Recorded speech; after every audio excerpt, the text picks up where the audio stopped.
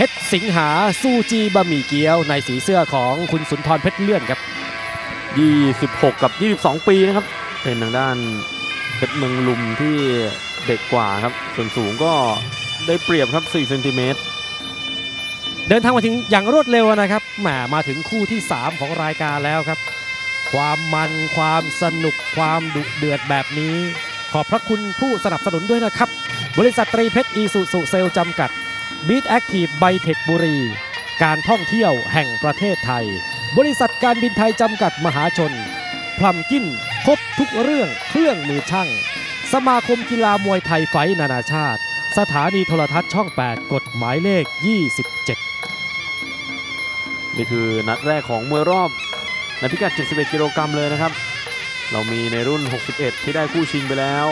63 ครับที่มีคู่ชิงแล้วเช่นกัน แล้วก็เดี๋ยวรอครับ ในรุ่นนี้ครับ จะมีทั้งหมด 3 คู่ด้วยกันนะครับ วันนี้มวยรอบ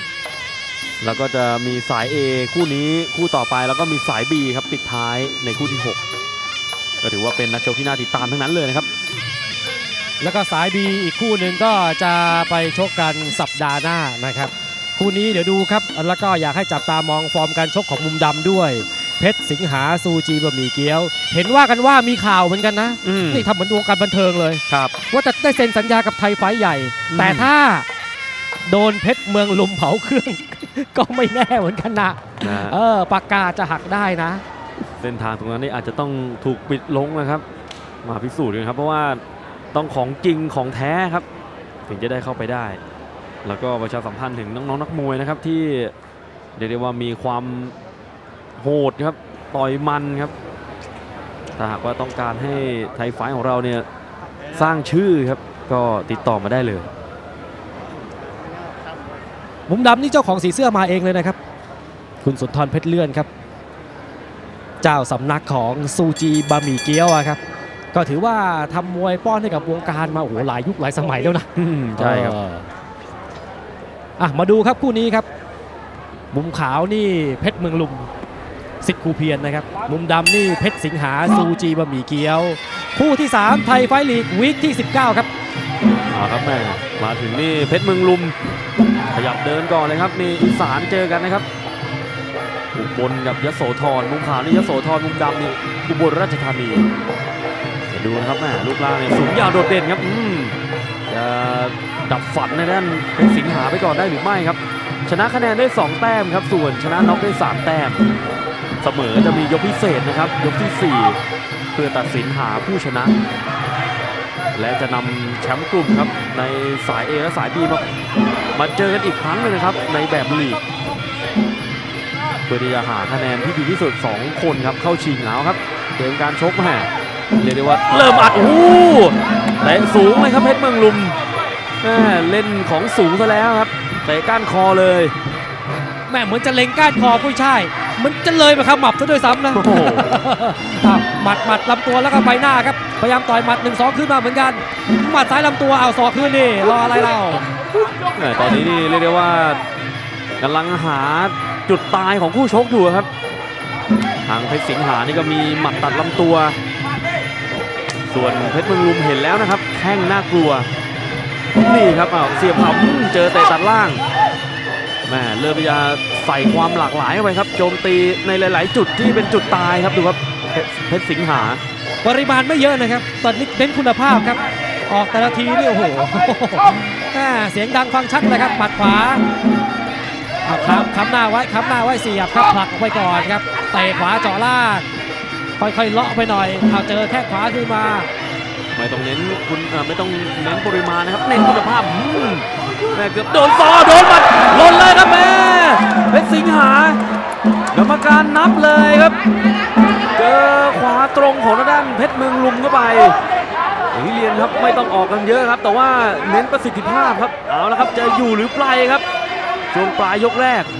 โอ้โหโดนนับแปดลูกหน้าสักทีนึงมาสู้ต่อครับเพชรสิงหามุมดำกับหมัดขวามาอีกครับ1 2หมัดซ้ายหมัดขวาอ่ามีสอยคางด้วยนะ มีสอยคางเอาไปลำตัวแล้วขึ้นใบหน้าครับ จะปิดเกมเลยหรือเปล่าล่ะครับเพชรเมืองลุมครับ แต่ระวังลูกสวนกลับด้วยเนี่ยสวนทีเดียวนี่เกมพลิกได้เหมือนกันนะครับ เห็นมาหลายคู่แล้ว โอ้โหเอาครับแม่ต่อยเสียงระฆังดังพอดีอะเดี๋ยวพักให้น้ำครู่เดียวครับ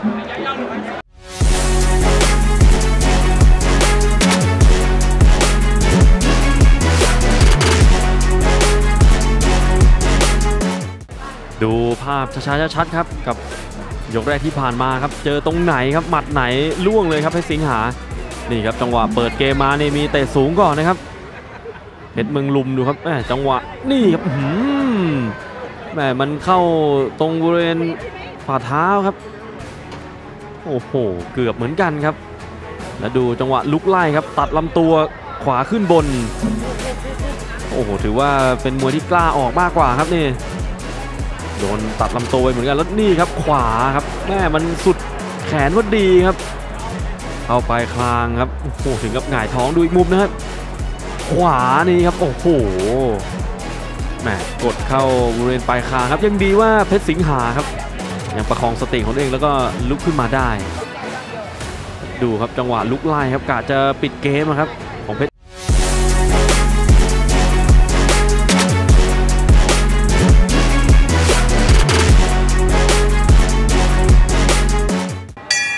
นี่สองนักชกจากบราซิลครับ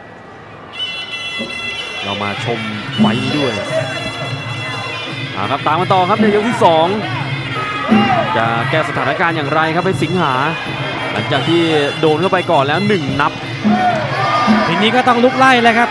อย่างน้อยที่สุดแล้วก็เร่งที่สุดเร็วที่สุดก็คือเอานับคืนมาก่อนแต่แหมมาสักครู่โดนหมัดซะแล้ว เพชรสิงหาครับเลงครับเตะซ้ายจ่อล่างเตะขวาคืนมาครับแหมดูครับ แล้วก็คืนมาแต่ละทีนะ เพชรเมืองลุมอะโดนไปหนึ่งขึ้นมาสองสามสี่เลยอะครับแหมแล้วดูอาวุธยังหนักแรงหนักหน่วงอยู่นะครับ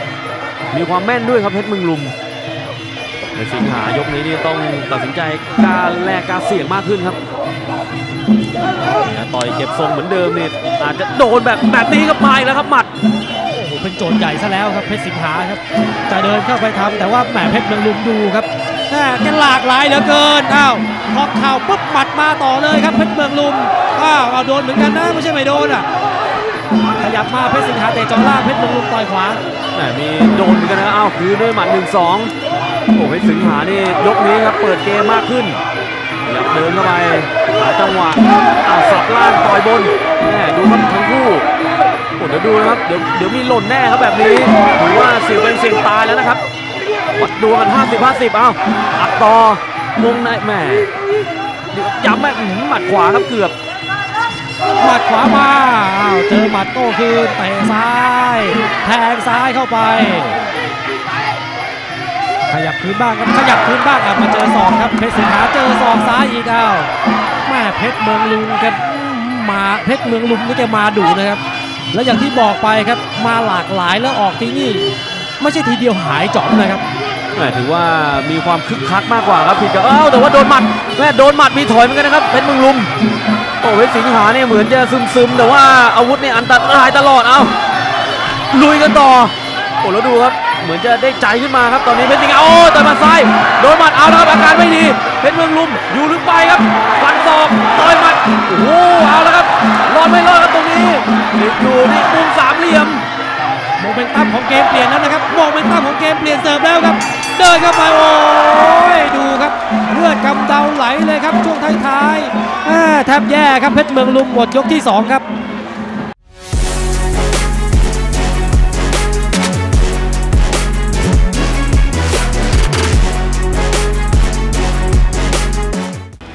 คือมุมดำเนี่ยโดนนับ 8 ยกแรกก็จริง แต่ว่าช่วงปลายยก2เขาทำได้ดีนะเพชรสิงหา นั่นแหละครับแหมเหมือนโมเมนตัมของเกมเนี่ยจะพลิกมาที่มุมดำแล้วนะครับ เพราะว่าช่วงปลายยกครับ โอ้โห มาได้หมัดชุดใหญ่แต่ดูต้นๆเนี่ยอาวุธของเพชรเมืองลุมก็ยังอันตรายอยู่นะครับ จังหวะต่อยหมัดจังหวะออกอาวุธนี่ถือว่าสร้างความกดดันให้กับเพชรสิงหาได้เยอะเลยครับนี่ครับเสียบเข่าก็มีหมัดตัดลำตัวครับแล้วดูขวายังแรงอยู่เลยนะครับ เนี่ยโดนนำท่าไม่ดีแล้วครับเพชรสิงหา โอ้ทั้งลำตัวทั้งใบหน้าครับ แต่ว่าหลังจากนั้นก็พยายามคืนด้วยหมัดค่อยๆ อยู่ในเกมครับนี่ฤาษีบทยาครับแม่ถือว่ากล้าโชว์แล้วหมัดนี้ครับ เหมือนจะเปลี่ยนเกมเลยครับ พอโดนขวาเข้าไปนี่ถอยเลยนะครับ อาการออก ดูครับทิ่มหมัดเข้าไปอีกครับเกือบไม่รอดครับในช่วงปลายยก ดูครับ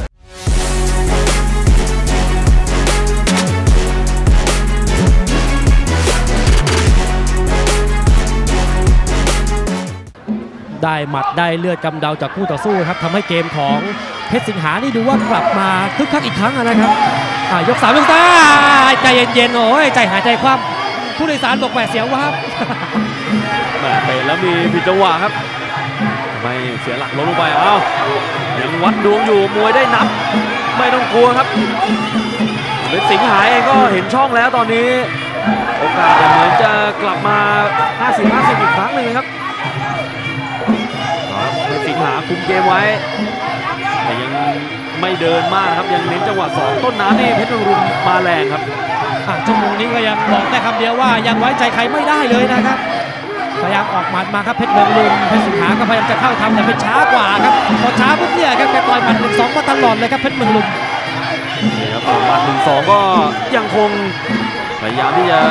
ต่อยสกัดเพชรสิงหาอยู่ครับเ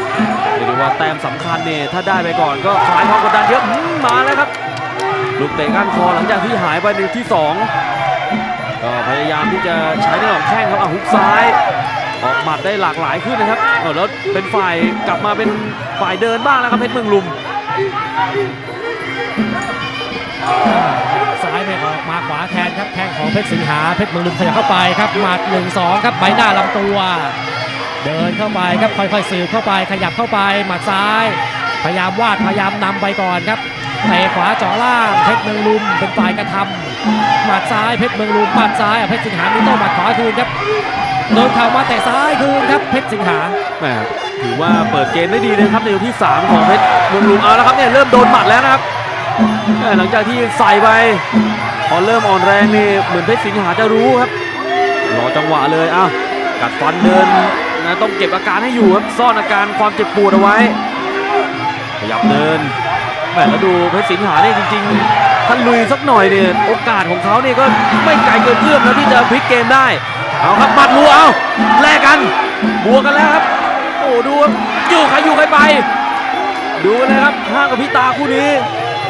โอ้โหดูยืนปักหลักเอาอัดซ้ายไปอีกเหมือนแกจะขยับมาเดินแกถอยอีกแล้ว เจอหมัดขวามาครับเพชรสิงหาหมัดขวาเพชรเมืองลุมเป็นคนต่อยต่อยหมัดขวาหมัดขวาต่อยเข้าไปอ่าโต้ไม่โต้ครับเพชรสิงหาครับเพชรสิงหาว่ายังไง ว่ายังไงต้องถอนบ้างเออหมัดขวาต่อยไปแหมทำเขาได้ทำเขาดีนะเพชรเมืองลุมอะแต่พอโดนหมัดบ้างบางทีก็มีสะดุ้งเหมือนกันนะใช่ครับหมัดของเพชรสิงหานี่ถือว่าได้ลุ้นตลอดครับแต่ว่าความทีนี่ยังสู้ทางด้านเพชรเมืองลุมไม่ได้เอาปลายยกนี่ได้กดดันบ้างนะครับทันไม่ทันมีพลิเกมไหมโอ้แล้วดูครับ ใส่กันยับเลยคู่นี้แหม่คะแนนแรกครับมันสำคัญจริงๆครับกับนัดเปิดหัวครับในกลุ่ม A พิกัด 71 กิโลกรัมเอาครับหมดยกสุดท้ายโอ้ดูครับ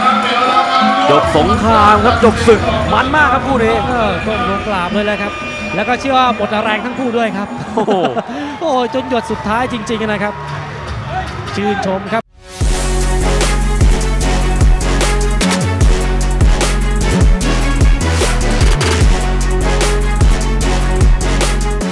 ทีอะดูภาพช้าเลยครับแม่เนี่ยไปเตะซ้ายแล้วตัวเองลื่นครับแม่เตะได้แต่ไปเสียหลักเสียเหลี่ยมมาครับจังหวะหมัด1-2 ของเพชรเมืองลุมครับเพชรสิงหาต่อยไม่โดนแล้วไปเจอหมัดซ้ายของเพชรเมืองลุมนี่จังหวะนี้โอ้โหขึ้นก้านคอเลยครับก้านคอยกหนึ่งได้เห็นครับยกสองไม่ค่อยเห็นแล้วยกสามแกกลับมาอ,อีกครั้งหนึ่งครับลูกก้านคอเตะยาวๆของเพชรเมืองลุมอะครับแข้งซ้ายเพชรสิงหา จังหวะนี้ขยับเข้าไปครับ เนี่ยแกบีบคอไว้เลยครับ โดนต่อยลำตัวแล้วนี่ครับ 1 2 3อะครับลำตัวแล้วก็ขึ้นใบหน้าครับ หมัดของเพชรเมืองลุมหมัด 1 2 ครับก็พยายามสาวพยายามต่อยไปเรื่อยครับก็พยายามไล่ขย่ำไปนะครับ ช่วงยกที่ 3